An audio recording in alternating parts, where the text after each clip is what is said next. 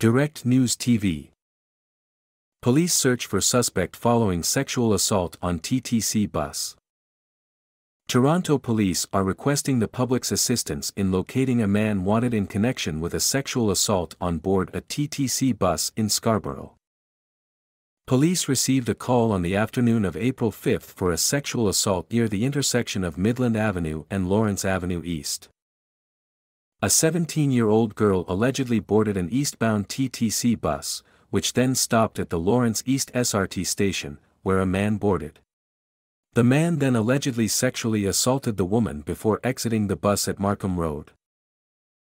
The man is described as 5 foot 11 and at the time of the alleged assault was wearing a blue surgical mask, black jacket, gray sweater and Nike running shoes.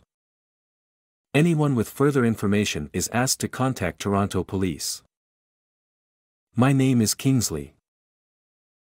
Please like, share, subscribe and hit that notification bell so you can be the first to be notified whenever we post you won't regret it.